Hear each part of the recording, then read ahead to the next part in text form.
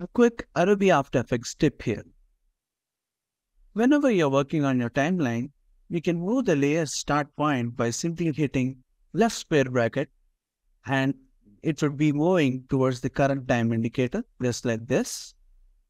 And you can also do the same thing by hitting the right bracket, I mean the right square bracket, so that the endpoint could be at that particular time frame.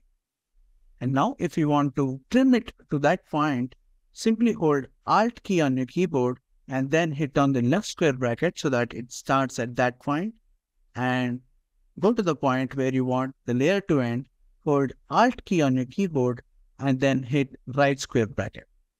This definitely comes in handy whenever you're working on your motion graphics projects.